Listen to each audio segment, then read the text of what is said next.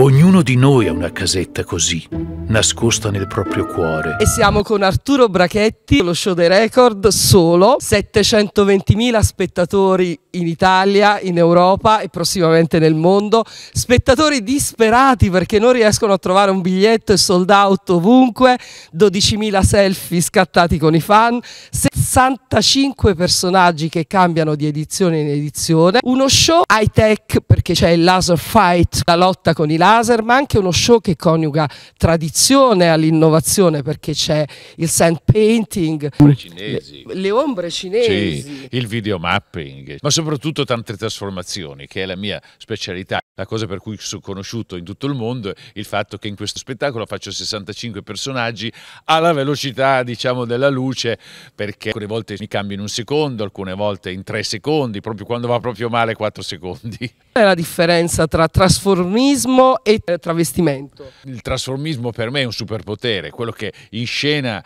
mi permette di diventare tutte queste persone cambiando parrucca, um, uh, costume, scarpe e soprattutto anche anima. È un gioco un po' schizofrenico di poter essere uno, nessuno, centomila in una sola serata.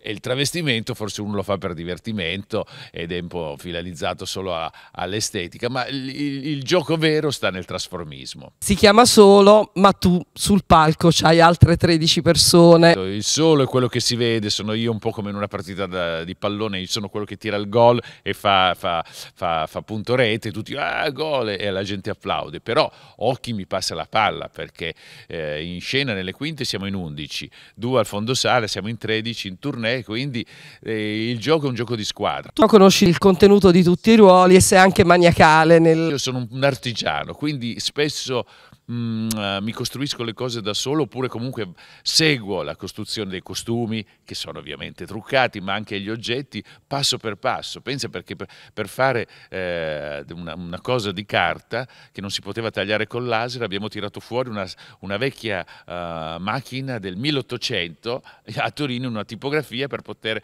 stampare eh, delle cose su, che non si, non si usava più da anni. Quindi sono anche alla ricerca di questi artigiani che in Italia sono ancora tantissimi sempre più preziosi. E c'è una casetta sul palco e un'ombra che ti aiuta. Sì, lo spettacolo ruota intorno a questa casetta che è la casetta metaforica che sta nella nostra testa, no? in cui abbiamo le stanze dei ricordi, delle paure, del, del, delle speranze, dei sogni e poi la mia ombra, l'ombra di Peter Pan, 67enne, che è un attore di colore, Kevin Michael Moore, che è un po' la, la parte di noi che ci attrae verso la terra, no? perché l'ombra strisce sempre per terra lungo i muri, mentre invece io voglio volare, ma alla fine dello spettacolo riuscirò a volare. Ho il sentimento del cuore, Don Silvio Mantelli è uno scopo di beneficenza, anno in anno cambia il progetto ma c'è sempre. In tournée eh, viene a trovarmi Don Silvio Mantelli che è il mio mm, mentore prete mago, quando io avevo 14 anni ero un piccolo magro sfigato, lui mi diede le chiavi di questa stanza piena di giochi di prestigio e di libri e mi tirò fuori dalla mia timidezza e mi, eh, dire, mi, mi, mi presentò una vocazione che non era quella religiosa ma quella di far spettacolo. E io vivo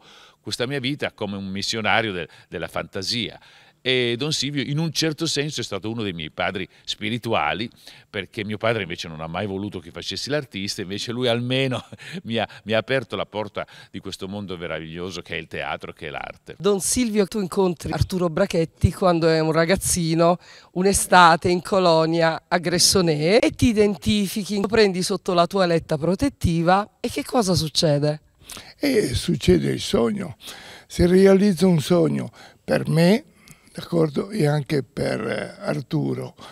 Era un ragazzino timido, diciamo molto imbranato e questo fatto eh, di vedere mh, mm, che io facevo questi giochi, queste magie, realizza in sé queste aspettative e questo sogno.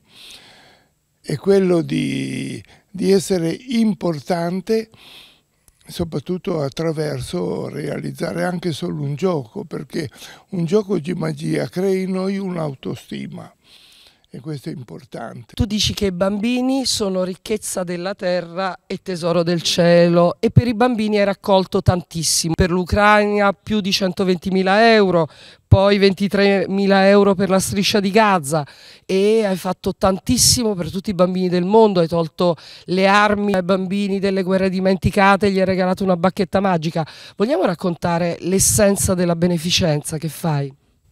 Ma non è altro che rispondere ha un desiderio e un'aspettativa dentro di sé. Ecco, questo è fondamentale farlo perché è una necessità che uno trova dentro. Girando per il mondo vedi queste situazioni, questi bambini eh, che hanno bisogno in pratica di tutto, di realizzare meglio il loro sogno di una vita. Allora basta, penso, almeno è proprio così, una cosa anche minima. Io ho conosciuto Madre Teresa nel 96 e lei diceva togli una goccia da questo oceano delle cose brutte, domani l'oceano è un po' più piccolo, ma soprattutto perché quello l'ho fatto io. È un dovere da parte nostra e non bisogna tirarsi indietro.